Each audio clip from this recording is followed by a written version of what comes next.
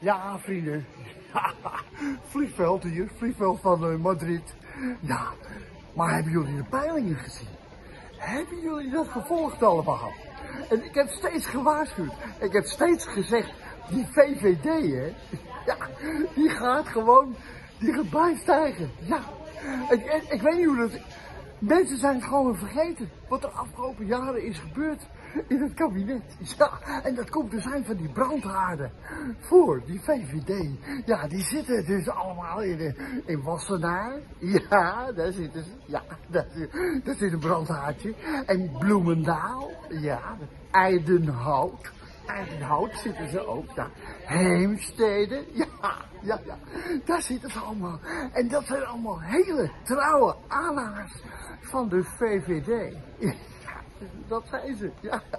En die blijven VVD stemmen ook, natuurlijk. Ja, ja.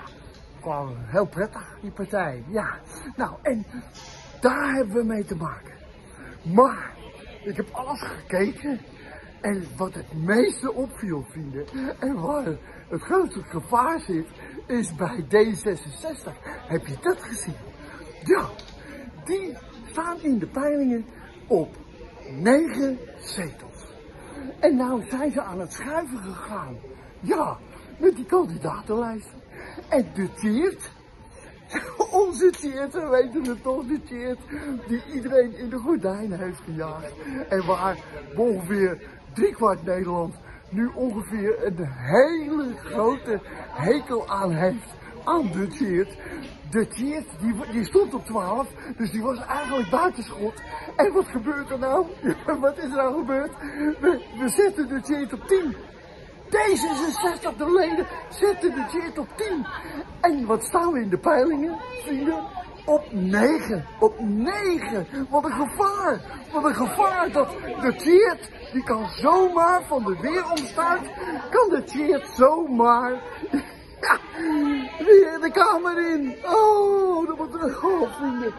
Dat gevaar zit er dus aan te komen. Wat een spanning gaat dat worden. De komende tijd tussen de cheert, dat die daar staat. Oh, oh, oh, oh. Oh, op die. En, en hoeveel zetels gaat D66 dan krijgen? Oh, oh. Eén zeteltje. Scheelt het maar. En dan zit hij er weer in. Nou vrienden, hey, zo spannend gaat het worden, deze verkiezingen.